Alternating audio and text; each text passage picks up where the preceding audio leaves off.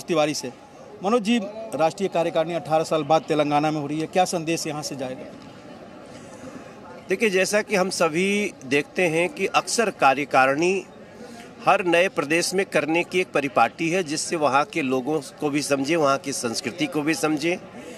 लेकिन तेलंगाना एक महत्वपूर्ण राज्य है हमारे लिए। तेलंगाना से बहुत सारे एमपीज हमारे जीत के आए पीछे, और अब जो स्थिति है कल मैं जगतियाल में था। 48 घंटे मैंने वहाँ जनसंपर्क किया। लोगों के मन में है कि इस बार यहाँ बीजेपी को लाना है। तो इस दृष्टि से तो तेलंगाना में ये कार्य समिति बहुत महत्वपूर्ण हो जाती है।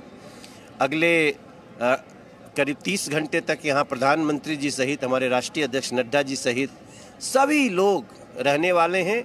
और सबसे महत्वपूर्ण आपको बताएँ कि हम लोग यहाँ पिछले 50 घंटे से हैं।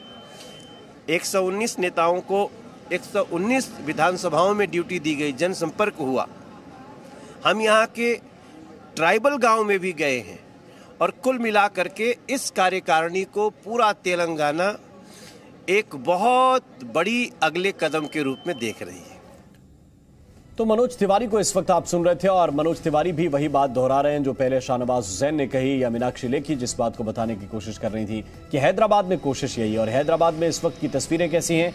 जरा देखिए, ये बीजेपी के कार्यकर्ताओं ने जो तैयारी की है, क्योंकि राष्ट्रीय कार्यकारिणी की बैठक है तो बीजेपी के कार्यकर्ताओं ने तैयारी भी की है और जगह जगह इस तरह के बीजेपी के झंडे आपको हैदराबाद में आज देखने के लिए मिल जाएँगे। चाहे वो चौराहे हों, चाहे सड़कों के दोनों तरफ़ हों, ये देखिए तस्वीरें इस वक्त।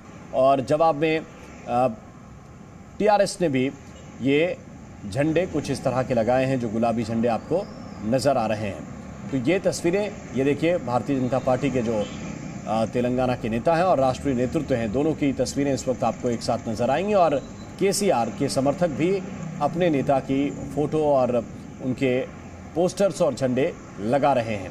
तो एक तरफ़ बीजेपी है, जो ये कह रही है कि अब दक्षिण भारत और तेलंगाना में सरकार बनानी है, और दूसरी तरफ़